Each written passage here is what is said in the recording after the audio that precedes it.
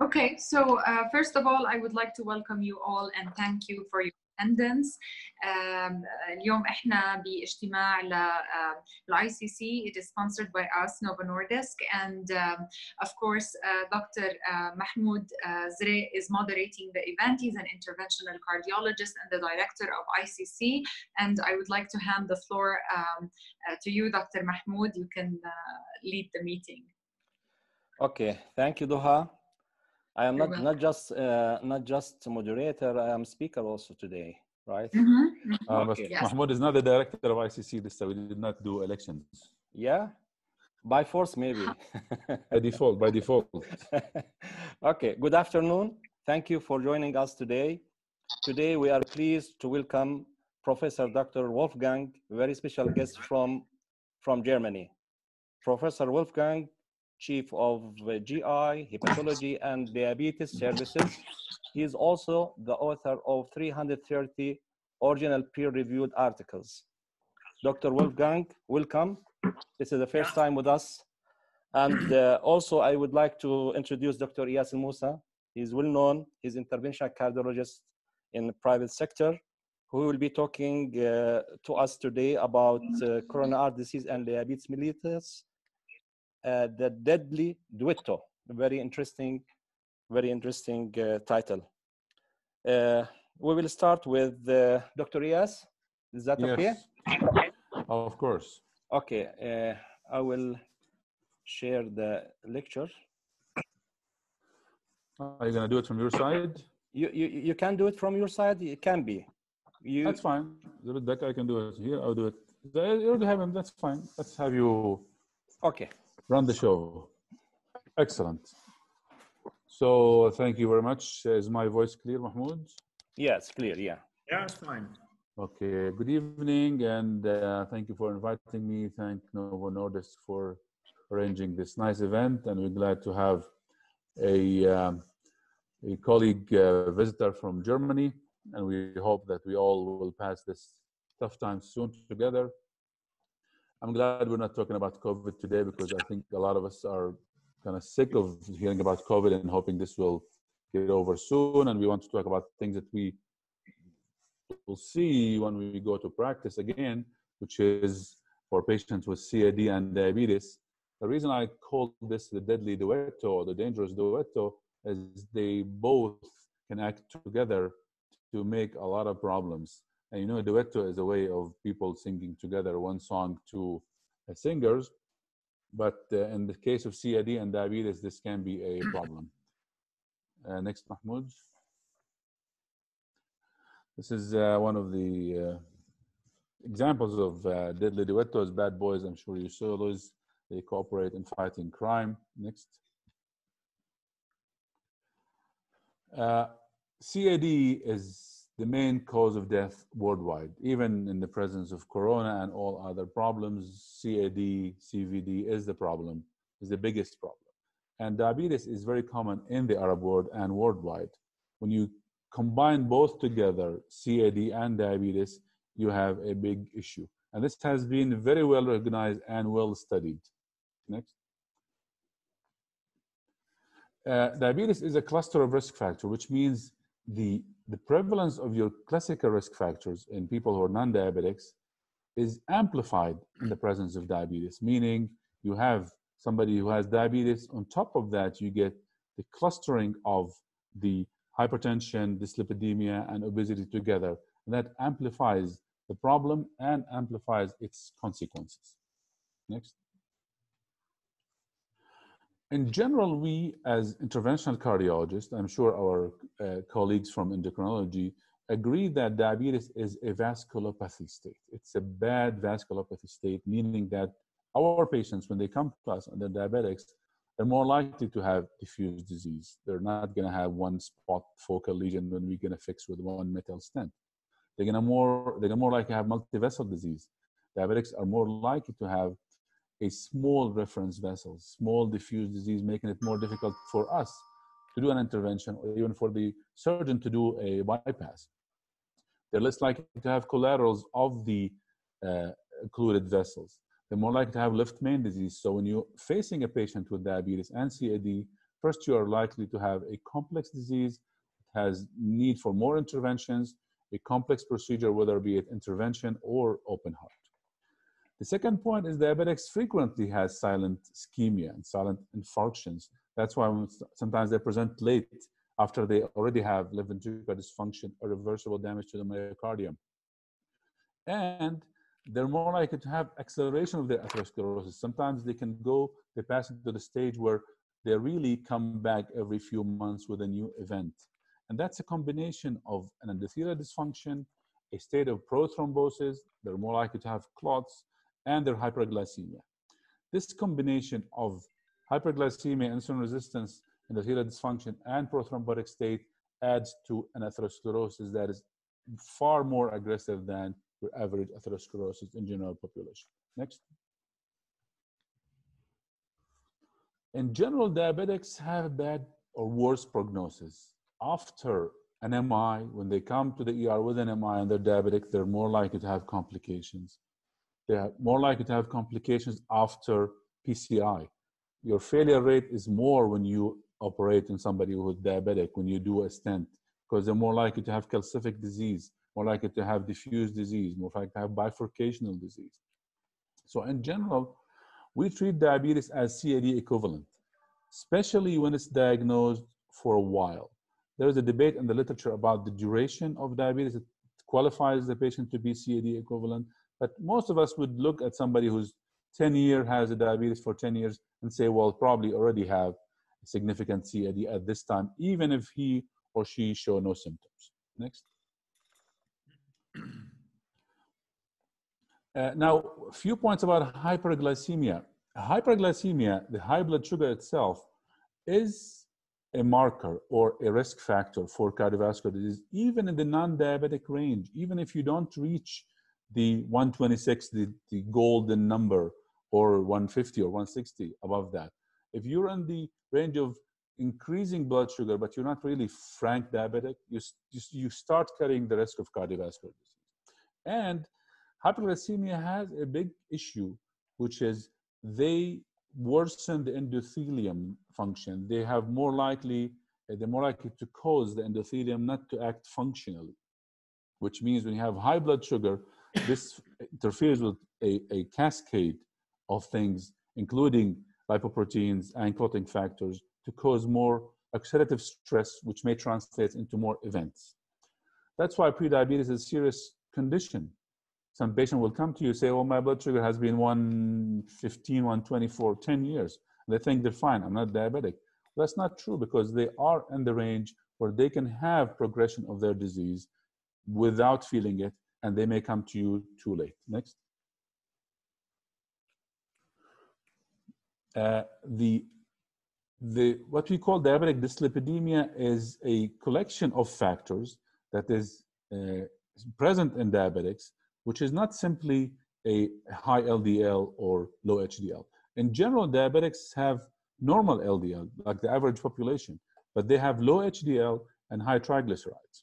And their LDL is character, characteristic known as a small dense LDL, which is very well characterized in literature as more oxidizable, more likely to go into the wall of the vessels and cause atherosclerosis. So not all, not all LDLs are created the same. Diabetics are more likely to have the small dense LDL, which is more oxidizable, more likely to be atherogenic than the other sizes of uh, LDL. Next. Now, endothelial function is important in diabetics. I would like to point that patients with diabetes have a host of abnormalities, including abnormal adhesion of the leukocytes and endothelial function. A host of cytokines go into that. Very important thing is the impairment of what we call endothelium dependent relaxation of the vasculature, meaning when you exercise, your vessels have to dilate. And if you don't do that, even if you don't have significant obstructive CAD, you can have angina and ischemia. So in diabetics, they can't mount an endothelium-dependent vasodilatation because of their uh, condition. And that means the patient will come to you with angina. You may cath and they find mild disease. It's not the end of the story. They have angina because they cannot dilate their vessels in response to an exercise or a stress. That's why some patient will come to us having more angina when they have high blood sugar. And when you control the diabetes, their angina gets less because that endothelial function can be improved by aggressive medical therapy. Next. Now, one sentence to, to remind our colleagues that diabetes is a prothrombotic state. Diabetes is not high blood sugar. Diabetics are more likely to clot their vessels. They have more a problem with their anti with their coagulation and with the intrinsic fibrinolytic system. These are impaired mechanism. Their platelets are more active, more angry, more likely to cause clots. That's why patients with diabetes they can have more MIs, more strokes, even if you control their uh, cholesterol or their blood sugar. That's the end of the story. That's not the end of the story. They have multiple other mechanisms that are impaired that cause them to be prothrombotic. Next. Okay, now when you revascularize diabetic patients, in general, this is less effective because of a few things. The ICC is the Interventional Cardiovascular Club, and whenever we show a case of intervention, we see that patients with diabetes come, sometimes they're late, they have diffuse disease, they're more likely to be incompletely revascularized because you have all these branches that you say, well, that's too small, that's too complex, let's just fix the big vessel. And in general, we need to have more aggressive revascularization and medical therapy for either medically or interventionally treated patients because their prognosis depends on the aggressiveness of your medical therapy and the completeness of revascularization, which is always a challenge in diabetic patients. Next. Now, these factors will tell you, well, let's stop there. Sometimes no more research is needed. If you have a clear fact, like the one in this uh, slide, the, the, the chicken is getting uh, punished for a clear problem here, and you don't need to do more research in this case. But in Jordan, we had few cases to show, and we studies, we few studies that we have done, and I would like to show one of them. Next, Mahmoud. Uh, the glucometabolic abnormalities in acute coronary syndrome study in Jordan. This is called the GLORY study, also uh, proudly done by the JCC group, uh, headed by Dr. Ayman Hammoudeh. 600 plus ACS patients were evaluated on admission. The treatment was looked at, their labs were assessed, and their one year survival and complication was uh, followed, specifically looking at the prevalence of their, how often they have diabetes or previously diagnosed or how often they are diagnosed just on admission. Next, Mahmoud. And if you look at this, this is the breakdown of the patients. The five, half of them have unstable angina, and about 16% have non-STEMI, and 30% uh, have ST elevation MI. Next. This is the breakdown at admission. Next, Mahmoud. Now, if you look at the uh, their status, the glucometabolic status on admission, a third were non-diabetic, a 44% were diabetic. So you can say that in Jordan, 44% of patients are having diabetes on admission with ACS, but we have 11% who have new diabetes. They were not diagnosed before. They were just discovered to be diabetics on admission, and you have 13% impaired fasting glucose. So this is the breakdown on admission. Only 30% have no problem with their blood sugar. Seven out of 10 of ACS patients in Jordan have abnormal glucometabolic state, whether it's frank diabetes diagnosed before or in about 25% of patients, either frank new diabetes diagnosed just today on admission or impaired fasting glucose. Next. Now, next. Okay, now the in all patients in this study, the mortality was as follows. If you look here on admission, before discharge, hospital admission, 2.5% uh, was the 2.6% was the mortality of all ACS patients. One month mortality was 4%, and the one year was 7.2 in all the patients, all comers being diabetic or non-diabetic. Next. Now, in hospital mortality, if you break it down according to the glucometabolic states, you're non-diabetic, your mortality is 1.9, 2.1 if you're diabetic, but look at this. This jumps to 5.7% if you are newly diagnosed diabetic, if you're diagnosed just on admission, and it's 3.4% if you're impaired fasting glucose. So these patients did worse. The previously diagnosed diabetics did better than those who were just diagnosed on admission with diabetes or impaired fasting glucose in terms of mortality. Next. If you look at the one month mortality, break it down again. No diabetes here, diabetes more, but significant difference in the new diabetics and then the impaired fasting glucose. So new diabetics have much worse one month mortality compared to the overall mortality of the study. Next. Now, if you look at one year mortality, again, the trend is obvious. No diabetes, 4.8%, diabetic 7.5, newly diagnosed 17.1, and impaired fasting 3.4. So the, the, the one that stands out very clearly is the worst prognosis of someone who gets diagnosed with diabetes on admission for an ACS without prior knowledge. Next. And if you look at the one year cardiovascular event, lumping, of course, mortality or need for revascularization and UMI or a stroke, you can still see that our patients still have 18% of, even if they're non-diabetic, of coming back for an event.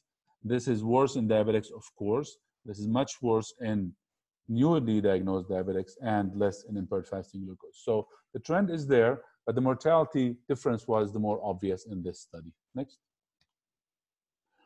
So mortality cases will continue. Some cases will always be there. You can't save everybody. This man here will probably have an intracranial hemorrhage in one second because this vehicle is moving away and he will hit his head. So you cannot prevent, you cannot save all. Next. But you can try. it makes sense. If you discover that you're diabetic only when you are coming with an acute coronary syndrome, then the prognosis is much worse because you pay the price of years of ongoing vasculopathy, undiagnosed, untreated dyslipidemia, abnormal coagulation. That's why we need to screen and aggressively treat patients, pre-diabetics, to prevent the progression to the vasculopathy of diabetes. Next.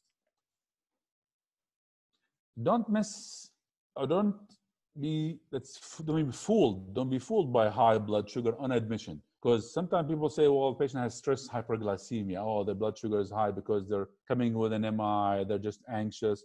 Let's just wait till it goes down. Stress hyperglycemia can be fatal if you misdiagnose it. If you don't diagnose it, you say, oh, let's wait till blood sugar will go down. This is a marker that this patient is having a worse prognosis. Mild impaired fasting glucose may come next time. Mahmoud, go back mild impaired fasting glucose next time may come to you with a frank diabetes and acute coronary syndrome. So when someone has a mild impaired fasting glucose, their blood sugar is uh, 105, treat them with risk factors, with the metformin, with whatever. I'm sure we, our colleagues will talk about that because GLORY showed that this group is having a bad prognosis. Do not underestimate this phenomenon. Next. I'll finish. Uh, once upon a time, we were not part of diabetes care. Cardiologists, we didn't talk about diabetes. We did not have these joint conferences with endocrinologists. We sent our diabetic patients to endocrinology. We didn't want to know their blood sugar because we were under the impression that we cannot help them. We cannot uh, reduce their CVD by reducing the blood glucose from the previous trials. Next. But nowadays, some new diabetic medications were discovered, and these are cardiac and life-saving. These are cardio-beneficial life-saving medications that happen to reduce the blood glucose too. That's why we as cardiologists believe that we are part co-owners of this disease now. And that's why we are interested in this topic. Next. Okay, so my final conclusion, HbA1c for me now means H for heart, B is benefits, A is always, number one is number one, and consideration heart benefits always number one consideration. If you reduce the blood sugar, HbA1c, you're doing that because you want to help your patient not get an MI or a stroke. Next. So aggressive risk factor modification in diabetic patients cannot be overemphasized. New agents like GLP-1 and SGLT2 are game changers and are probably now first line therapy. Next, and thank you very much.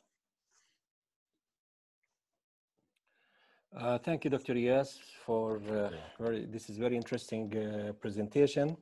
We will let the, the questions at the end. Okay. Agree with me? Yes, yes, I agree. Okay, we start. Uh, the stage is yours, Dr. Wolfgang. Mm -hmm. Yeah, just one second. I let you to share your uh, presentation. The presentation with you? You have it? you can uh, just get into it. Oh, I have to go to the email because just No, I mean, yeah, otherwise I, you have I it don't know your- what. we- Shall I um, open it? Yeah, yeah.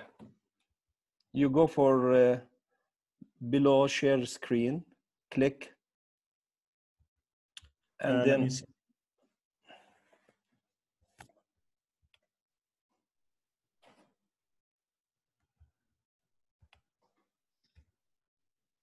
Um, I think you, the host has to activate this. Is that true? no, no. I I give you okay. Would, uh, just one stop second. sharing my slides. A minute. Yeah. Yeah. How do we get to my presentation? All presentation. Yeah. I think I send it over to you, so so it should be in somewhere.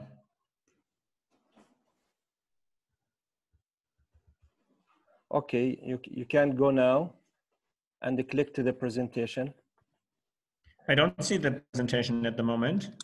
Uh, I don't, don't. see it. I only see if uh, Mahmoud uh, Izraiq as picture. Ah, Mahmoud, as a picture. Mahmoud, did you stop sharing Okay. my presentation? Okay. One second. One second.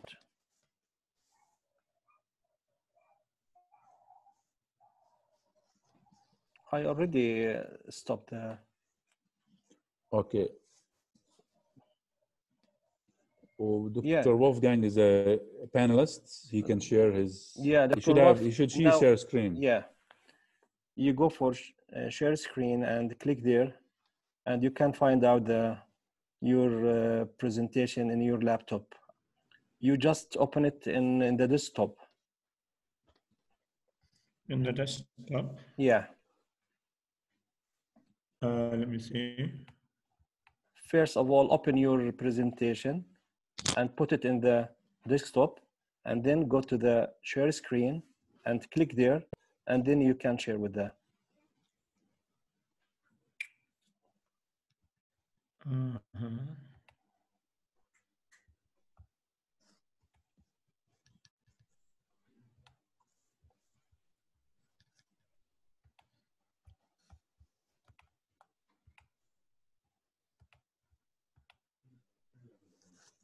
Do you see that? I open my presentation just No, on my computer. Now go go to the share screen. Um, click- Click there. where do I do that? it's below there is item which is called share screen click there You should see a panel that says Q and A, chat, share screen. Um, okay. Then I have to go back to the Zoom. yeah go back to the zoom you already opened uh, you already uh, your presentations Yeah, and um, in your in your uh, desktop yeah, yeah, I see it. Okay. okay now you go to the share screen Yeah, and open it through it yeah. Now it should be in. Yeah, uh, excellent good Yep. go And we go like this. yes Yeah. Perfect. You Perfect. it? yeah, we can see it. Okay. okay So yeah, hello to everybody. Um, thank you very much for inviting me. Of course, it would be much nicer to visit you in your beautiful city of Amman. Last year I was there and gave also a lecture. And so we can all pray that uh, maybe next year, if there is a phase of after Corona crisis, yeah we hope so could do that again. Yeah. You all agree? 100% That's good. Okay, so I liked, uh, I enjoyed very much your lecture, uh, Dr. Almousa, and uh, I totally agree with all the facts in there. Uh, it's really crucial that we treat pre-diabetic states, and uh, probably, as you said, your explanation for that uh, newly diagnosed diabetes persons uh, have a much worse prognosis is that they really went on with that state already for some years. We find people with ACS in our cardiology department with an HbA1c of 10% showing up and didn't know that they had diabetes. So they had all the problems of dyslipidemia and high blood glucose and oxidation of uh, small LDLs and so on. So it's uh, really a good study and it uh, illustrates the problem. Okay, so I was asked to discuss a little bit with you because uh, I think you are a group of mainly cardiologists and also some internists and uh, also some GPs. I think that is uh, correct, but no endos. I must admit also I am a full-blown gastroenterologist as well as diabetologist. That is the reason why we are in the past and still are very much interested in these GLP-1 analogs because GLP-1, as you know, is a hormone of the gut, and that creates the bridge between the gut and the endocrine pancreas. So it's uh, somehow also nice to um, speak a little bit uh, about gut and gut-brain axis and the pancreas. So guidelines and controversies in the treatment of type 2 diabetes patients in CV patients. Uh, I think we should discuss them in the light of typical patients we will uh, have that uh, in a minute. And of course, uh, the sponsor wants also to know how we judge about liraglutide in clinical practice disclosures. Um, our laboratory and my department gets uh, support from a number of companies. So I would say we are quite a little bit independent of each of them. And uh, more important is the support we get from non-profit organizations like the German Research Foundation, German Diabetes Association, my own university, that's the Ruhr University of Bochum, and also EASD and ADA. That is exactly what Dr. Almousa was telling you, um, that life expectancy is reduced by a quite a, a heavy um, amount of years in patients with diabetes and CVD. You see here uh, in a person at uh, the, uh, his age or her age of 60, no diabetes. So probably now in Germany, they or um, she or he had a uh, life expectancy, I would say, of 85, maybe 86, even if he already reached 60. With the diabetes, that goes with minus six years from the statistics. That's the JAMA paper of the Emerging Risk uh, Factors Collaboration, huge study, although registry. But if diabetes is combined with what your main subject is, MI or stroke, so cardiovascular disease, then the loss of lives is double, minus 12 years. So that's quite significant. Um, always cardiologists when we discuss between uh, or in among uh, endocrinologists diabetologists cardiologists uh, in the past some cardiologists said oh you diabetologists or endocrinologists you don't have endpoint studies no heart studies you uh, discuss about hba1c but at the end of the day mortality is the point you have to follow that's true. All the other, the old interventional studies we don't want to discuss today did not show any benefit of a very drastic decrease in HbA1c, but a tiny little study, the STENO 2, you are all aware of that, that showed already um, significant effect. And you know there, conventional treatment of type 2 diabetes uh, meant, uh, let's say, a little bit of antihypertensive treatment, a little bit of cholesterol, and also a um, little bit of diabetes. And intensive addressed all these entities in a small group of patients, two times 80, but also all of these intensives got ASS aspirin. And uh, the advantage of that study, really long follow-up, and what you see here is the cumulative mortality, and clearly you can identify that it is uh, of great benefit for the patient to have an intensive treatment on all sides, on dyslipidemia, hypertension, with aspirin to attack the platelet dysfunction, and also on diabetes. So, of course, one could not distinguish between the different uh, interventional uh, components, but it was a very nice result. And for us as diabetologists, that was the first study showing a mortality benefit of intensive treatment, at least including HbA1c intervention.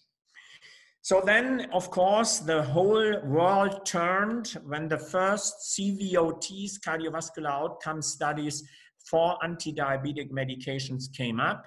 And you all know these studies, they marked really a turn point in type 2 diabetes treatment. And the first study, or one of the first studies, was the LEADER study for liraglutide, showing a significant benefit for um, liraglutide, a GLP-1 receptor agonist, with this triple endpoint of uh, non-fatal stroke, non-fatal myocardial infarction, and um, making this as a triple endpoint uh, for um, the outcome uh, of a newly developed drug. You all know that was an, uh, um, a law by the FDA that any new anti-diabetic medication should show this safety in long-term cardiovascular outcome studies.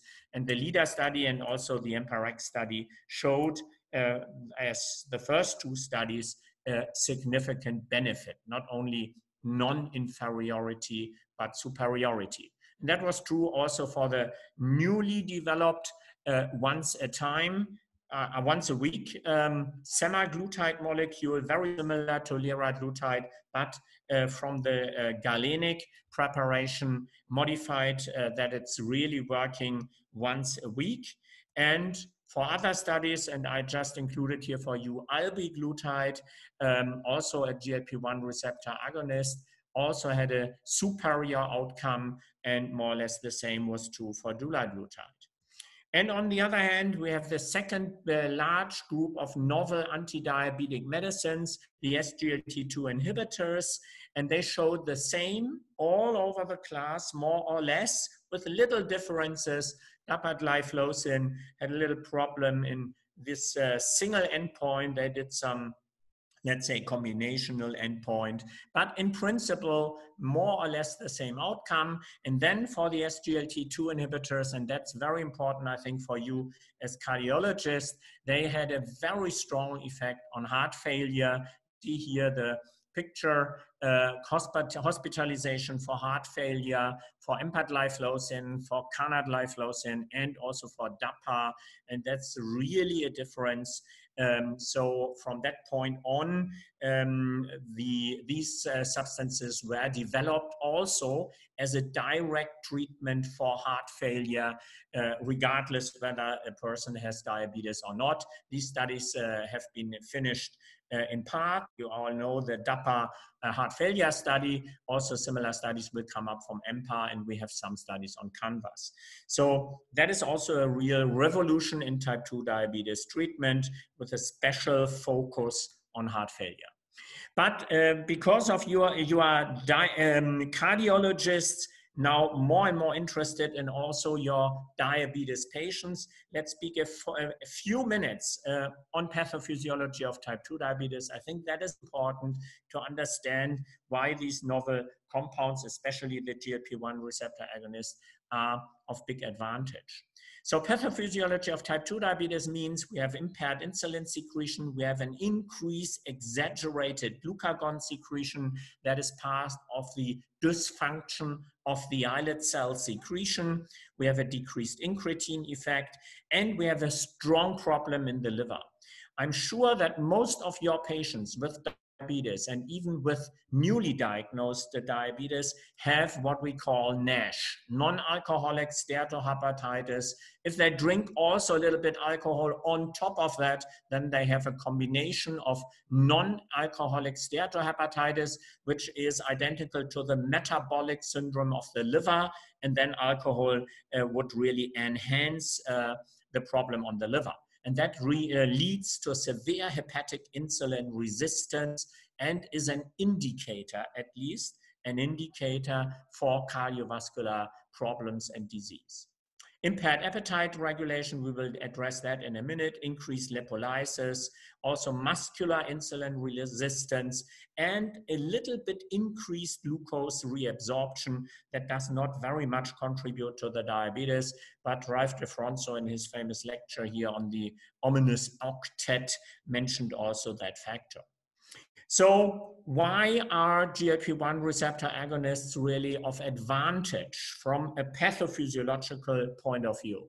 Uh, and that is because GLP-1 receptor agonists have not only an effect on the pancreas, that is well studies, increasing insulin secretion, bringing down the glucagon secretion, but also on the heart. Not directly mainly, but more indirectly. And probably the best studied factors are a contra-inflammatory effect that is after what Dr. Almousa was saying of very much uh, uh, advantage. So this inflammation of the arterial wall is improved by GLP-1 receptor agonists. That's shown in lots of animal studies and also small proof of concept studies. And we have this beneficial effect on systolic blood pressure, a direct effect to five to six, sometimes seven millimeter of mercury. So that is something you as cardiologists would agree that this is already clinically significant. Then we have a direct effect on the brain. Uh, interfering with our appetite regulation. And I will show you some of the fascinating results here.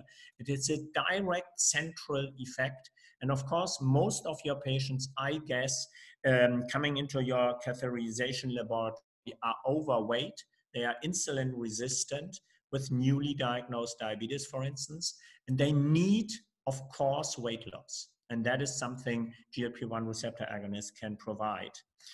Then we have uh, effect on stomach. That's uh, inhibition of gastric emptying in part in favor that would ameliorate your postprandial glucose, of course, if the meal stays in the stomach.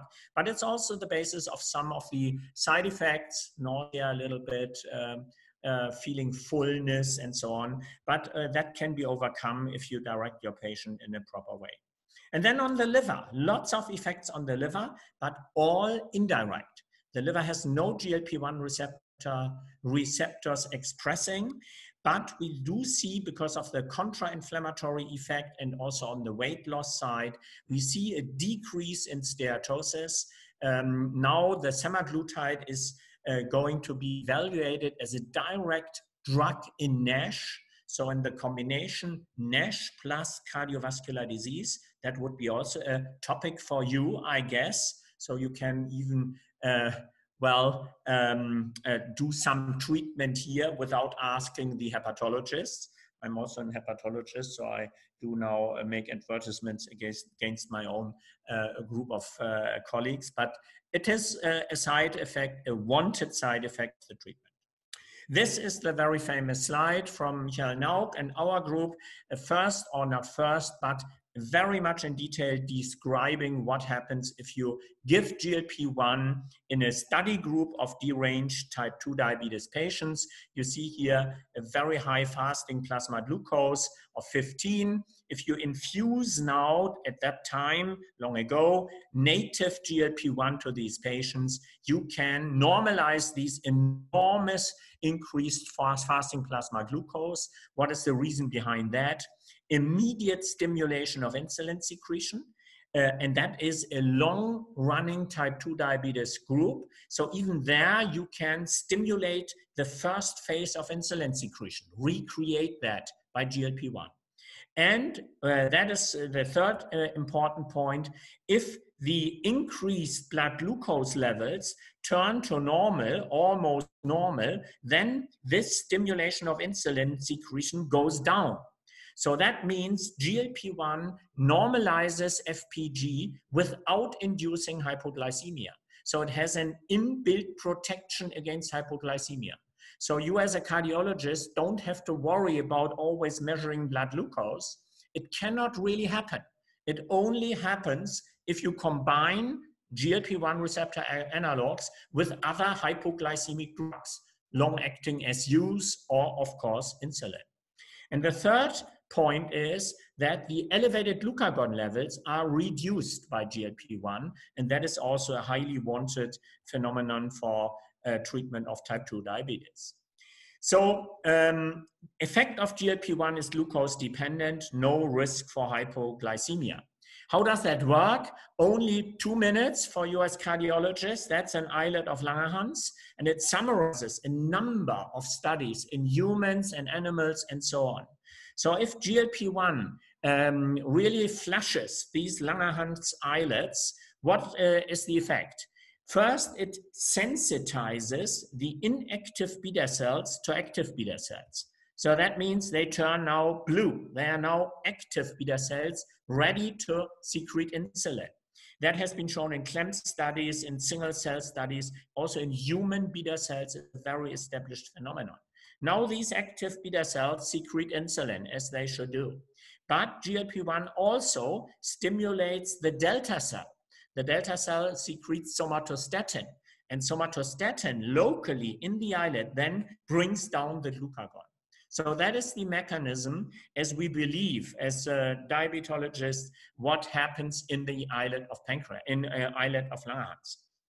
The second important effect of GLP-1 is on the stomach. I told you it's a very potent inhibitor of gastric emptying with these two sides of the coin. But GLP-1 can directly affect the brain. You will ask, okay, GLP-1 is a peptide. How can that enter the brain? I will show you in a minute. It induces satiety signals via the gastrointestinal tract with the nerve, the vagal nerve, traveling to the uh, brainstem and then inducing satiety, but also directly crossing the blood-brain barrier. The result is induction of satiety, energy intake goes down, and weight loss in our patients. Is there really proof that it is entering the brain? Yes, there is. That can only be shown in animal experiments, but very beautiful and important animal experiments. Here from the Copenhagen group in mouse, um, in mice, they were injected by an um, liraglutide fluorescently labeled, injected in the periphery. So from the periphery, it could go into the brain and they checked it here by an, a very sophisticated tomography, a histological tomography method. What can you see? That's the supraoptic nucleus. That's uh, also supraoptic decussation. And more important, paraventricular nucleus of the hypothalamus. That's the center of our appetite and uh, satiety regulation. And what you see here is real liraglutide labeled and had crossed the blood-brain barrier is now in the brain.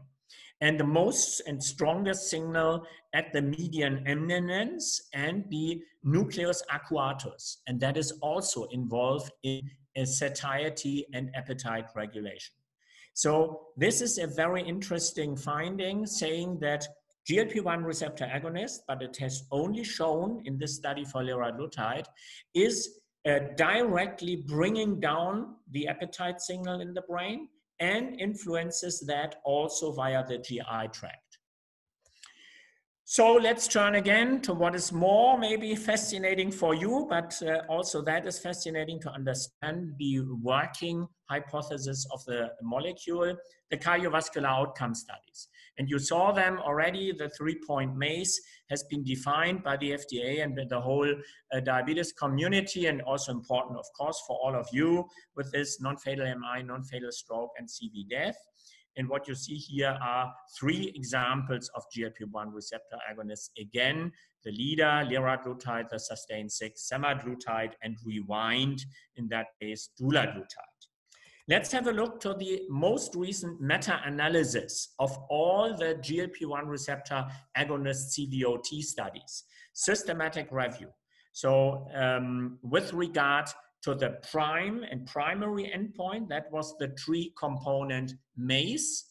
And you see here all the studies, LEADER, SUSTAIN, EXSCEL, and so on, showed an effect on the side favoring GLP-1 receptor agonist treatment. The EXSCEL study was not significant, but almost significant, just missing here the confidence interval. ELIXA, that is uh, um, uh, the only study that did not show an effect. That is the the uh, molecule by Sanofi, but uh, that um, uh, molecule had really a very short half-life. Sanofi wanted to market it still as a once daily injection, and that was certainly the completely wrong decision. So no one would give that anymore with regard to influencing cardiovascular outcome. But the others are quite homogeneous. That's the overall meta-analysis, quite convincing, large number of studies as you would like to see them uh, because your cardiology studies are in the same range. This is cardiovascular death. And um, what is interesting here also, the overall analysis is absolutely significant for all the studies. EXA, ELIXA study, um, you would also uh, think, okay, that is expected, uh, was ineffective, but the others were well done. Uh, the sustained study was a very small pre-approval study, not powered uh, for any of the subtypes here. Um, so it did not show the same effect. The others showed uh, here a quite significant effect. And then probably for most of you, all-cause mortality, that's really the fact.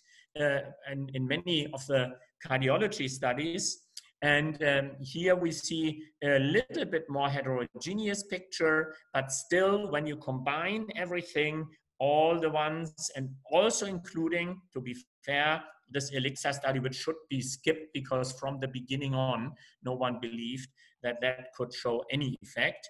But nevertheless, you have to include everything. And when you see here, it's also significant um, on a significant level uh, with a 12% uh, risk reduction for all-cause mortality. So I think that's in the light that this is an anti-diabetic treatment that is really a major step forward. Not to forget about renal benefit. Um, this is a composite kidney outcome, including macroalbuminuria for all the studies here. And you see here also, not all studies had that endpoint. So some had to be excluded because no information was in the study uh, trial. And you see here the meta-analysis also shows more or less the same degree of benefit, 17% risk reduction. Uh, it's maybe not not at the same level as compared to the SGLT2 inhibitors. They are a little bit higher from the numbers, but there's no head-to-head CVOT comparing SGLT2 inhibitor and GLP-1 receptor agonist. So one cannot be absolutely sure. But at least also on, in that field, GLP-1 receptor agonist shows something. So finally, now let's turn to the guidelines. And I um, prepared for you two guidelines, which might uh, uh, be of interest for all of us to discuss it.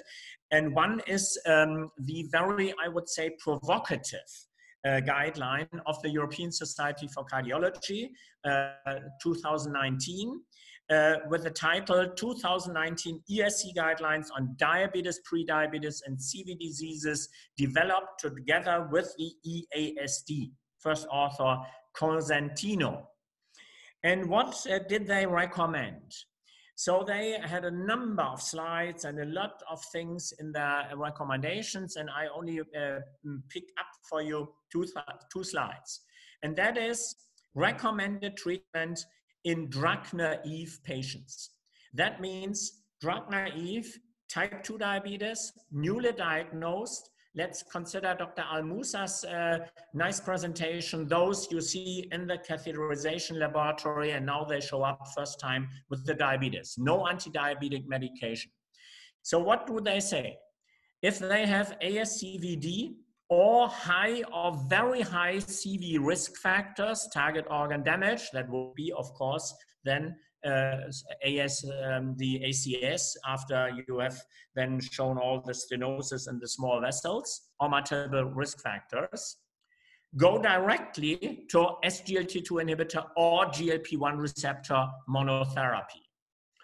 If not, if this is not present, then start metformin monotherapy. Well, the endocrinologist among my uh, friends and colleagues uh, were very controversial about that point, and we can discuss it in a minute. Whether really there is data in these CVOTs that support that statement. I would put a big question mark.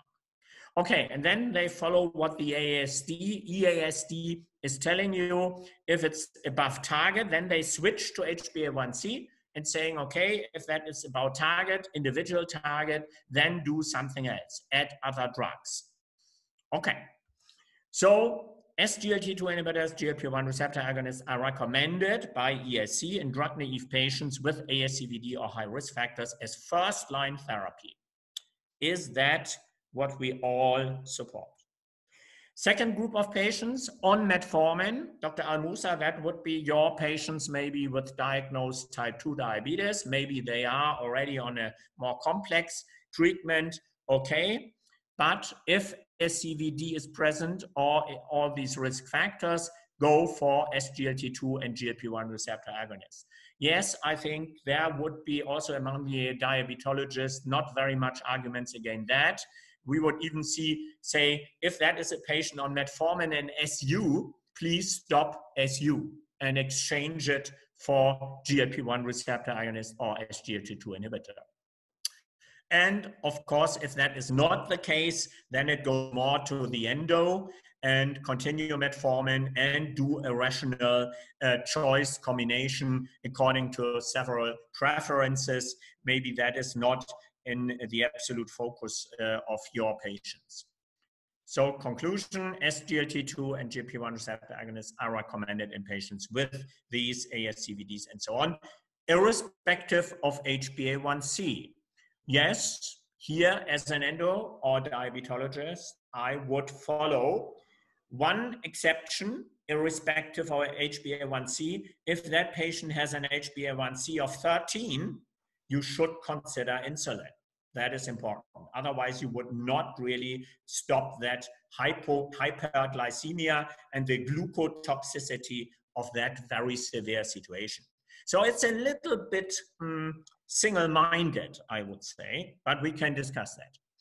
Then uh, GLP-1 receptor agonist of that uh, ESC 2019 um, statement says recommendation, liraglutide, semaglutide, dulaglutide are recommended.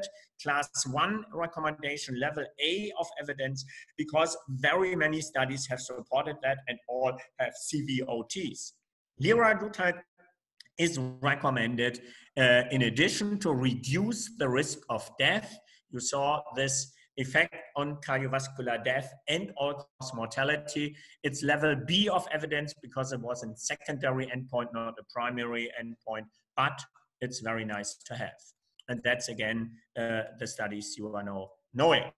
That is all-cause mortality again, and the significant effect in the leader liraglutide study, um, clear-cut confidence interval significant, but it was a secondary endpoint. Now, the second type of recommendations, ADA EASD Consensus Report 2018 to 2020, that did some additions, glucose lowering medication in type 2 diabetes. So the endos, uh, your endo friends would say first line therapy is still metformin and comprehensive lifestyle. If there is a high risk situation or established ASCVD or CKD or heart failure, then we go this way, but metformin remains first recommended uh, line of glucose lowering medication. If there's no presence of all these points, then we can go here to the right and could follow that up. Let's first consider the patients you are interested in. Uh, so indicators or established uh, CV disease. And here, if ASCVD predominates, so no heart failure, maybe a little bit diastolic or severe diastolic dysfunction, that is, of course, uh, a part of heart failure not well studied at the moment with regard to GLP-1 receptor agonists. Also, problems with the SGLT2 inhibitors. I think there will now start. There are studies now ongoing with uh, heart failure, preserved ejection fraction, and non-preserved ejection fraction, and that will answer then those studies. There have been some disappointments already, but we will see whether at the end of the day, and we can discuss that very openly, whether we will have also a treatment, a highly needed treatment for treatment of diastolic dysfunction, so, so to say, heart failure with preserved ejection fraction. So preferred here in the ASCVD group is GLP-1 receptor agonist with proven benefit, of course. So not from the ELIXA study, um, that compound or SGLT2 inhibitor with a proven benefit. Um, if uh, heart failure or CKD predominates, and you see here the criteria, then SGLT2 inhibitor goes first, also with proven benefit. If there is some contraindication or whatever, then also GLP-1 receptor agonist can be used, as said here. Okay, and if that is not the case, then we have all the choices to minimize hypoglycemia. That is probably something you would then refer to the endo. If weight gain is a problem, certainly GLP-1 receptor agonists are first choice because they are more potent to induce weight loss compared to SGLT2 inhibitors, no doubt about that. Also head-to-head studies are available. And if cost is a little bit here missing. If cost is really a factor, of course, then you have to switch to more uh, inexpensive options, and that is SU or TZDs. TZDs, please not in heart failure. They put on water and weight. Um, some other options are available then. Intensifying to injectable therapies, I think that is then also not primarily your subject, more subject of the endos then of course, there is the situation where insulin comes into uh, the play and into the therapy. And of course, then all education has to be done. And I think you have to then, uh, as cardiologists, at least to cooperate um, with some kind of diabetologist or endocrinologist. So that's last slide, dear colleagues. We are a little bit late already. What I would like to discuss with you, but uh, please feel free also at the end um, to put up any question is first the ESC guidelines of 2019. To uh, repeat that, SGLT2 inhibitors and GLP-1 receptor agonists are recommended in drug naive, newly diagnosed type 2 diabetes patients with ASCVD or very high risk factors as first line therapy. You agree? Question two, ADA ESD consensus report, patients with ASCVD, GLP-1 receptor agonist, in example, liraglutide, first line, patients with heart failure, CKD, SGLT2 inhibitors, empagliflozin, dapagliflozin, they have the best uh, study evidences, first line, you agree? Question three, ADA ESD consensus report, maybe more at side for the cardiologist, intensification of therapy. And here the consensus report of ADA ESD says GLP-1 receptor agonists always prior to insulin to be considered. This is something even endos uh, are a little bit, oh, well, should we do that? I think we, I am convinced we should do it. Uh, I think there are many type 2 diabetes patients who have too much insulin. Novo Nordisk, as you know, is also an insulin company, so they have to close their ears now. But they have very nice GLP-1 receptor agonist molecules, so it should be at least considered before you put a person on insulin. And I think this is also in favor for you as cardiologists. You don't want, I guess, to treat patients with insulin with all the problems. There you need a little bit the endos, but GLP-1 receptor agonist is an option before. You agree or not? Thank you very much. Thank you very much, uh, Dr. Wolfgang. This is very interesting lectures. Uh, now we will go for uh, for my presentation, right? And then, yeah, uh, then uh, we'll open for for the questions. Yeah. Okay. My uh, my presentations. Just I have one case to discuss with you: coronary artery disease and diabetic kidney disease. This is the case I would present today is a 55-year-old male patient, diabetic type 2, hypertensive, body mass index 33, known to have coronary artery disease recently. 10 days ago, cath was done for him, and I will show you the results. Echo showed mild LV impairment, hemoglobin 1ac 7.5, fasting blood sugar 140 milligram per deciliter, and creatinine clearance 25 mil per minute. He was treated with aspirin, metoprolol 100 milligram twice daily, atorvastatin 40 milligram once daily, and he was on metformin 500 milligram twice daily. This is uh, just to show you This is a cath. This is a left main. There is a severe distal left main lesion. And in addition to that, there is circumflex severe lesion, 99%. So, and this is LAD, subtotal LAD occlusion. So we are dealing with uh, three vessel disease, established coronary artery disease. So what we have, what we have here, we have a 55 year old diabetic, coronary artery disease, uh, stage four renal failure, creatinine clearance 25, hemoglobin 167.5, body mass index, this is wrong 33. So what we should do? The question is how we do manage. Keep in mind the patient rejected insulin therapy. A, continue on the same medication therapy. B, discontinue metformin, add saxagliptin. C, discontinue metformin, add linagliptin. D, discontinue metformin, add empagliflozin. E, discontinue metformin, add GLP-1, liraglutide. So let's discuss one by one. Mhm. So uh, we, the panelists will discuss with me the case. So one thing is important. Metformin, it is excellent and good drug, but there's a limitation. Two things. One of thing, one of those things, it's creatinine clearance less than 45, it's contraindicated.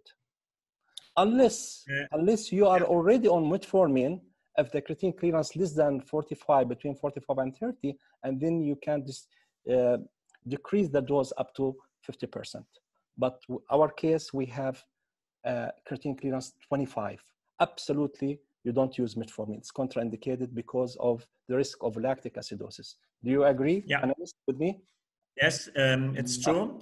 Um, we have a little bit different uh, approval for the metformin, and that says if um, the G, the uh, EGFR goes below 60, you reduce from full dose. That is in Europe either two times 1,000, or in Italy or in Spain sometimes they do three times 1,000. You go to two times 500 that was uh, already of course done here in that uh, person probably his uh, renal function maybe was a little better in the past but you are absolutely right the absolute contraindication level is 30 so if you are below 30 then stop metformin Okay. So option A, it's out. Let's go to the Yeah. option B. Discontinue metformin, add saxagliptin. Yeah So, no one was in favor of that. Yeah. and i think that's a good idea. Uh, uh, you know that even though creatine clearance is saxagliptin can be given in the presence of renal failure stage 4 but it is contraindicated if it is less than 15 ml per minute. And this is one. Exactly. number two it is important. This is dpp4 inhibitors. It is contraindicated in the presence of heart failure. And you mentioned this study 3p mace all dpp4 neutral regarding to the to the uh, cardiac mortality, rehospitalizations, and heart failure, except saxagliptin. Saxagliptin, it's contraindicated in the presence of the heart failure. So we don't use it. We don't use saxagliptin in the presence of the heart failure. This is number one. Number two, there is no beneficial, no cardioprotective effect. This is number two. And this, our patient is having mild LV impairment. And in addition to that, again, there is no cardioprotective effect. So option two is out. Agree, Dr. Yes? Agree, yes. Yes, absolutely Okay. agree. Okay. I mean, um, saxagliptin had this um, not very well explained effect. Lots of discussion uh, on why um, the number of hospitalizations for heart failure were increased. It's the only substance in the group of um, DPP4 inhibitors that showed that significantly. So um, for us in Germany, I think we don't see any um, uh, argument in favor of saxagliptin because uh, sitagliptin did not have that special problem. So I don't see any indication anymore for saxagliptin. Okay. Now, uh, option C, option C, discontinue metformin, add li- linagliptin. Mhm. But one word about linagliptin. The- The best drug for all stages of renal failure is linagliptin. You don't have to adjust the dose. But the problem, also this is DPP-4 inhibitors. We cannot use it in, in cardiovascular. There is no cardiovascular benefit. Safe in severe renal failure, but again, no cardiovascular benefit. For that reason, will the option uh, C will be out. Agree? Yeah. Yes, Any- agree. I Anything uh, about the- linagliptin? Yeah, the colleagues uh, had, of course, uh, a special, uh, I think uh, exactly what you said in mind. Linagliptin is metabolized in the liver, so you don't have to uh, think about renal impairment. That's a big advantage. Uh, but as you said, uh, the cardiovascular outcome study, uh, the Carolina study was not was non-inferior, so it was safe, but it did not show any benefit. Any benefit, So yeah. for this particular patients with ASCVD, it would not be the best option. Option C, discontinue metformin, add empagliflozin. I personally, I like SGLT2 inhibitors. It is very good drug, but you should know, until now, it is not recommended to get to take it uh, or prescribe it in the presence of creatine clearance less than 45 ml. Even though there is recently studies have been done, DAPA, uh, dapagliflozin between 30 and 60 ml. But until now, the guidelines, what I know about European guidelines, it's not recommended to give empagliflozin in the presence uh, renal impairment less than 45 per ml. But it is excellent drug. It is, um, uh, as you show, uh, Dr. Wolfgang, in your slides, it is there is a beneficial uh, three MACE. Uh, this is including cardiovascular death, non-fatal MI, and in addition to that, non-fatal stroke. It is positive drug, but uh, there is a limitation in the presence of severe, severe renal failure. So, in my opinion, uh, this option is out. What do you think, Dr. Eyas? Yeah, I think these medications work predominantly through the kidneys, and they're tested in patients who do not have renal dysfunction in terms of cardiovascular outcome trials. Until we have a trial showing that they work in mechanisms other than the kidney mechanism, I think they should not be used at the GFR of this magnitude. Dr. Wolfgang? Yeah, yeah. Uh, in principle, you are right. At the moment, and di- it differs, of course, from country to country, uh, the approval status. All the companies are running for approval in low EGFRs, and I think um, you are right. The effect on glucose metabolism, that means to get glucose via the kidney out of the body, that will decrease. But these uh, substances are heavily renal protective. So one, uh, and that is uh, shown also by the statement of the FDA and the uh, European agency saying, if a patient uh, uh, is higher than or is below 45, as you said, you should not start that. But if a patient is on EMPA and it goes down to 35, you don't have to stop it. It's a Mhm. little bit crazy, but it is like that. And so there is now a CANA renal study, there is an EMPA renal study, and everything, but they have not reached, um, I, as, uh, as far as I know, in certain countries, the level of approval. But it is not probably dangerous. So one has not to worry, oh, is it now 42 or 38? And do I have immediately to stop? No, you don't have to. Uh, it is renal protective, but you should not start it below 45 because then you are in the off-label range and it Yeah. could create problems. So E, discontinue metformin, add GLP-1, liraglutide. GLP-1, what is the evidence-based medicine? It is contraindicated when you have creatine clearance less than 15 ml per minute. Now, there is a published interesting uh, article published in New England Journal of Medicine looking at the composite renal outcome, which include the following parameters. New onset persistent microalbuminuria, persistent doubling of the serum creatinine level, renal replacement therapy, death due to renal disease. Composite renal outcome showed liraglutide significantly superior to placebo. However, when look at parameters individually, the only significant is seen in the new onset microalbuminuria. The rest of parameters, the rest of parameters insignificant include persistent doubling serum creatinine level, renal replacement therapy, and death due to renal disease. According to this study, it showed liraglutide does not show significant benefit in patients with GFR rate less than 30 in terms of composite renal outcome. However, no harmful effect were seen in treated patients less than 30 ml per minute. In contrast, liraglutide has cardiovascular benefit in the long term. So, if you have less than 30 ml, GFR less than 30 ml, there is no benefit composite renal outcome, but there is cardiovascular benefit in terms of long term. This I will show you a significant positive primary composite cardiovascular outcome were seen in a patient with GFR less than 60 ml per minute compared with GFR more than 60 per minute. It's very clear here if you see GFR less than 60 um, ml per minute, it is highly, highly significant, highly positive in terms of decrease the three MACE. And if you look here, also the presence of micro and macroalbuminuria, also the same.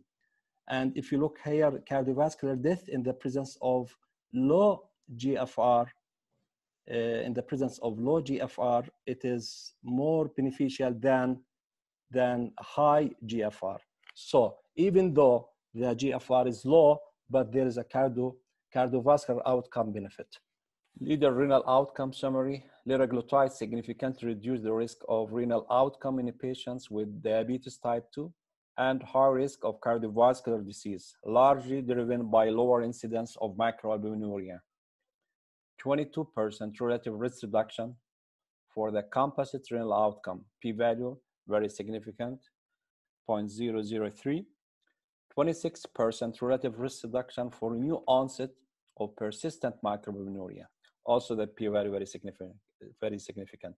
The effect of liraglutide on the composite renal outcome appears to be independent of baseline renal risk. Thank you. This is Yeah. my uh, last uh, slide. So if you have uh, any any questions, uh, Dr. Eyas, Dr. Wolfgang, about this case, then we'll discuss No, question. I, I agree. Uh, it's um, uh, almost um, because of the small numbers, not everything, as you see with the p values of interaction, are significant. But as you said, I mean, the tendency is clear. And I, I think also from the clinical point of view, these EGFR patients below 60 are the more ill patients. I mean, um, CKD is an indicator also, as you all know, for cardiovascular risk. So these are really the more sick patients, and these more sick patients uh, have a greater benefit with regard to cardiovascular outcome compared to those who are less uh, compromised. Okay, we have a questions here from the audience. This is uh, written questions for Dr. Eyas. Is hyperglycemia causing damage by a direct physical injury, the glucose molecules itself, or due to other cause? This is Dr. Yusuf. Uh, excellent question. Ah. Uh, the, the glucose itself um, can induce a, a glycation mechanism that um the, you coat the proteins and the lipids with glucose. This is called advanced glycation uh, end products. And these are the toxic material that goes into the endothelium and maybe induce inflammatory cytokines and endothelial dysfunction. So the glucose itself maybe not, but it's glycate, meaning coats proteins and lipids and induce a cascade of endothelial dysfunction through that. I'm sure Dr. Wolfgang will add to that. Yeah, no, I am uh, full in agreement with your explanation. That's absolutely true. Okay, if you have a question, please raise your hands because this is the only questions written in chat. So if you have a question, please raise your hand and you can. Okay, we have. Okay, we- can discuss the next time in the our conference your interventional or revascularization policy for this patient? Because the cath uh, you show was uh, very interesting, showing the diffuse disease and the the non-inviting nature of CAD in diabetics. Okay, So anybody? did you send him to surgery or did you stent his left main? we discussed uh, the case with the, this is a case for surgery. We discussed with the, with the family the risk of benefit of CABG. So they decided not to do surgery, just medical therapy. So we Okay, went. But the left main will be left alone? Yeah, what we, once the families refuse to do anything. So anyone, any uh, any questions? Okay, I have a question for you, Dr. Wolfgang. So Mhm. one of the side effect of the GLP-1 liraglutide is increase the heart rate. Yes. Is this variables or it is, uh, you know, that patients with heart failure, our patients with heart failure, we, we, uh, the main, the main aim of management to reduce the heart rate below 70. So, Mhm. So what do you think? So what's your, Yeah, I mean, yeah, that's a good point. I mean, it's resting heart rate and it is increased um, depending on the molecule in the range of two to four, in some uh, studies uh, up to six, but mainly two to four beats per minute. Uh, it's interesting, you cannot block that by beta blockers, but you can block it by this channel blocker, IVRA, IVRA, IVRA thing. Ivabradine. Right. Um, one has to say, okay, this is uh, not uh, nice to have, as a cardiologist would say, because uh, as you said, um, you want to bring it down. But one has to say, um, despite this small increase in resting heart rate, and that was present in the cardiovascular outcome studies, it dot, did not blow away the positive effect on cardiovascular outcome. So, um, and the second interesting finding was if you do a subgroup analysis um, saying that um, where was the, um, the um, increase in um, resting heart rate greatest? Was it in the patients with high heart rate already, let's say in the uh, heart failure patients running around uh, 85 to 90, or was it in the lower group? And the interesting point was it was at the patient group of 60s to 70s that the increase in resting heart rate was highest. So, uh, cardiology colleagues um, with whom I discussed that said, okay, that's uh, good luck. Those are the patients probably not getting any harm from that increase. It would be much more deleterious if you agree, you are a cardiologist, that if we increase the heart rate from 85 to 90 in a heart failure patient. But that is interestingly not the case. The reason is not known. The mechanism is also a little bit unclear. It's probably a direct effect via GLP-1 receptor, uh, receptors located around the sinoatrial region. And that would explain why this uh, channel blocker, iverabinin, uh, blocks it. So I think in general, it's not a contraindication for using it in CV patients. okay, we have a questions from Dr. Muhammad Jabari. Just one second, Muhammad Jabari, promote. Dr. Muhammad, are you there? Okay, Dr. Muhammad, he's not there. He went out. Okay. Okay, uh, Doctor, yes, this is questions maybe we will discuss with Dr. Wolfgang about, uh, we, ha- Dr. Wolfgang, you know that uh, this, this is a month we have, fa- we, should fasting from, from morning to evening. Do you recommend, uh, you know that GLP-1, uh, the side effect is nausea and vomiting. Yeah. Do you, do you think this is uh, appropriate to take this medication in this month or not? You can. Uh, I, I, I- mean, initiate, initiate. Yeah, we start. I mean, I am not going to say. ah. Yeah, you can even start it. Um, there are some studies of uh, use of GLP-1 receptor agonist uh, in Ramadan, uh, even with liraglutide and also with some others. Um, I think it depends very much on the um, interaction with your patient. What I learned from your colleagues uh, in the um, uh, Arabic region is that very many pay, or let's say uh, that the majority of patients does not really lose weight during Ramadan because mm-hmm. the break of the fast then leads to uh, these very nice social meals and of course a high calorie intake and so most of the patients uh, will stay at their weight or may even increase their weight one has to discuss it with the patient because if you, for instance, um, use GLP-1 receptor agonist like liraglutide, uh, and you want to introduce it because of several reasons, uh, acute ACS, and now the patient needs something. Um, if you uh, start that during Ramadan, you have to explain to the patient that the result could be that uh, after the break of the fast, he feels uh, or his appetite is reduced if the patient wants to lose weight, it could be a good strategy. If the patient says, "Oh no, I don't. I want to really have the social interaction after the break with my family and eat and so on," then it's not such a good idea. Uh, so it's a very individual indi- uh, indication then, but it works. And the good news is it does not create hypoglycemia. That is completely different. For instance, if you put a patient then on new insulin, you have to be very careful and you have to adjust that to this fasting and break of the fast period. So it's a quite a difficult process.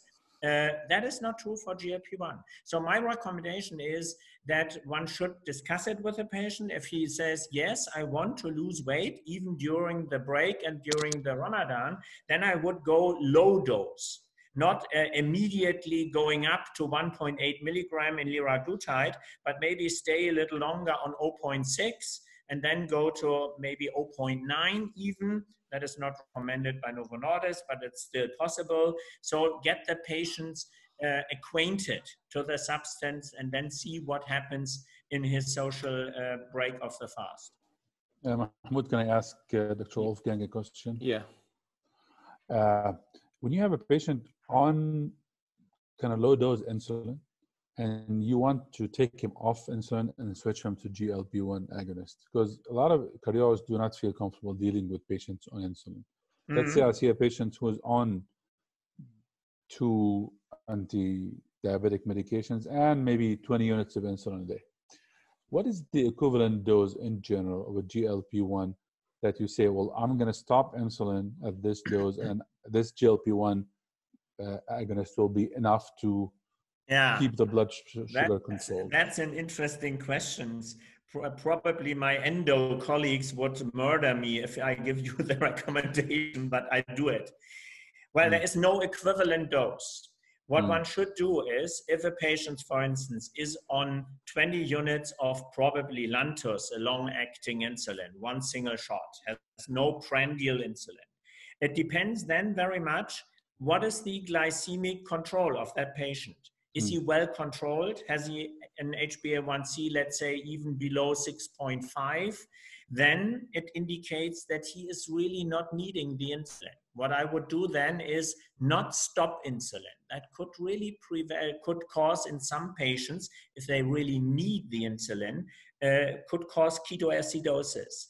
Mm. Reduce it yeah you could say okay now we are introducing a very potent drug that does not induce hypoglycemia for instance liraglutide. We start on that and then let's reduce the lantus from 20 to 12 units and mm. then see what happens. To control the morning fasting plasma glucose level and if it works and the patient is not hypo, uh, but also not hyper, you can stepwise try to go out but it should be done very carefully. Mm-hmm. Okay. Uh, Dr. Ghassan, there is Dr. Ghassan. Are you with us? Dr. Ghassan? Yes, please. Yeah, go ahead. I want to. Yeah, hello. Uh, hello. Yeah. Uh, what is the time to take the drug during Ramadan? I did not get the first one. What is the best time yeah. to take that in Ramadan? Yeah, good question. I mean, um, if the patient is really interested, um, in principle, let's say in principle, for liraglutide, it doesn't matter. whether you inject it morning or evening, um, it is more or less the same effect on weight. But in Ramadan, I would say there could be a difference because the drug is, uh, has a half-life of, alright, of approximately 14 hours. So the inhibition of appetite would be more potent if uh, he or she injects in the evening, so before sunset. So then you have the maximum concentrations, uh, even with low dose, let's say 0.6 or so, and you have to discuss that with the patient uh, and have to uh, give him the uh, forecast. It will reduce your appetite. So you will eat after the break less than you would have done without liraglutide. And but be relaxed. You can eat what you want and try uh, to have everything, but at a small, more smaller amount. If the uh, if the person feels happy with that strategy, that's fine. But definitely, I was called by some of your Arabic or by my Arabic endo colleagues that some patients don't like that. They say, okay, I want to really have this social meal and I want to eat with appetite and I don't want to have that drug then. Um, it depends. I mean, what is the motivation of the patient? In general, I would say no difference of time point of injection. We only modify that to counteract side effects. If a patient, for instance, has his main meal every day because business in the evening, and um, he you inject he injects two hours before and then can reduce the size of the meal, then it's fine if he is happy with that. If a patient injects in the morning and says, okay, I have then nausea all the day and can't work very well, then we switch from morning to evening or vice versa. But that is the general recommendation, depending on the motivation of the patient. If he really wants to lose weight during Ramadan, then inject two hours before sunset. But uh, can I ask you, if would you get more nausea if you injected in an empty stomach or after some food? a very good question. Has not been studied. My impression is that um, that the fullness, at least, is higher in a filled stomach. Uh, mm. But also in an empty stomach, you have central effects that could contribute also to some nausea. So in general, I would say fullness directly related to filled stomach, um, dizziness, uh, crumpling, and so on could be also true in empty stomach. One can try. It's not predictable. Dr. Muhammad Jabari, talk. Uh, I allow. I, I am with you. Yeah. Okay. What's what's okay. your question? Yeah. Hello, hello everybody. Ramadan Kareem for all. Hello, Muhammad. Uh, regarding uh, firstly يعني very nice lectures thank you so much uh, firstly uh, regarding to your case Mahmoud yes if, if your patient you you you put it in maximized medical treatment and good controlling of diabetes is يعني very good for her if you your patient cannot tolerate or refuse to take G, G, GLP-1 what you will do I will convince him to take insulin no choice we don't have choice. The other choice, the linagliptin. Yani we have three choices. Number one is uh, insulin and linagliptin. This is two options. Dr. Wingolf, what do you think? Do you agree with me or you have any another? Yes, yes you are right. Mm. I mean, uh, there's no other option. What one could do is, of course, um, reduce the, uh, the re what is the reason why he cannot take GLP-1? uh, one has to discuss it with him. And if it's really severe nausea and or vomiting even, what you should do is reduce the dose. Go back to 0.6 and then climb up very slowly. So the recommendation by Novo Nordisk is saying you do 0.6 at the beginning and then switch after two weeks to 1.2 and then very quickly to 1.8. That's too fast for many patients. So you can use the intercase and say 0.6, 0.9. Then if nausea comes up, go back to the old uh, dosage before and try to convince the person to stay on some amount of GLP-1.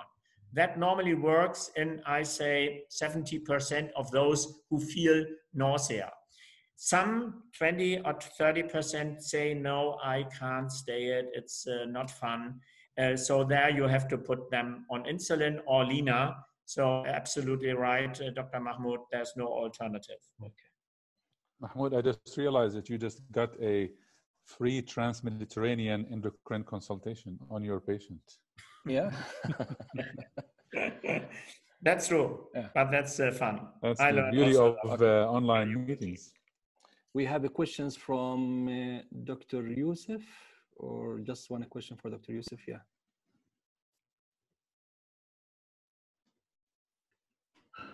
Can I Dr. start?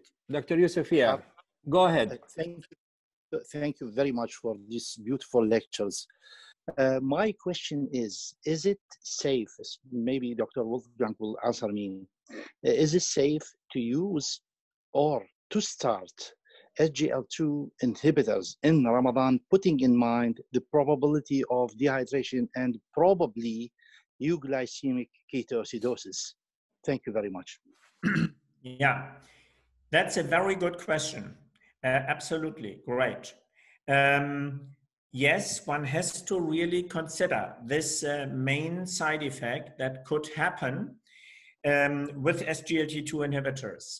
It, it happens more often in patients that um, who um, really need insulin.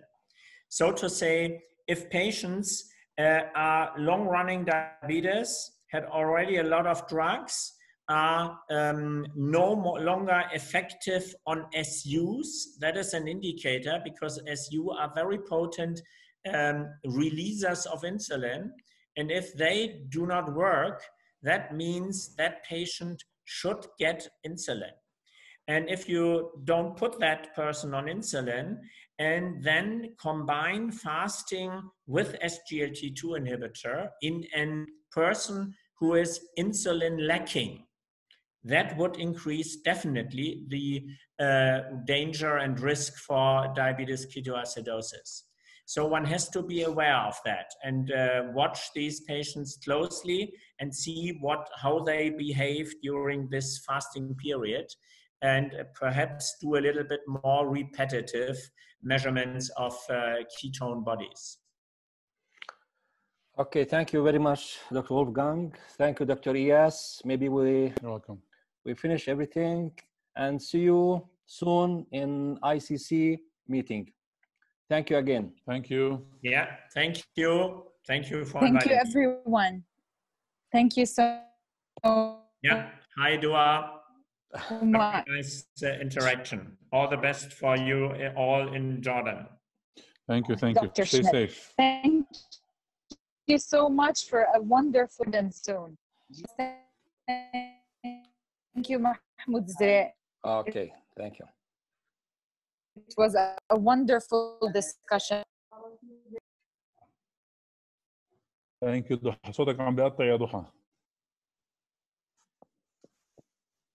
ضحى انتهت. We lost we lost your audio. Okay, okay. See you see you soon. Yeah. Thank you. Bye okay. bye. Bye bye.